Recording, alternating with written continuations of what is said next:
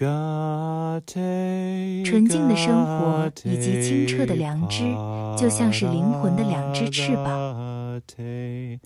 A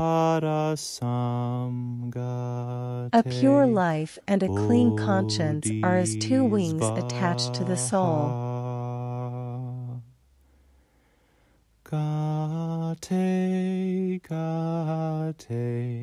August 29th, The Bowl of Saki by Pir Hazrat Inayat Khan.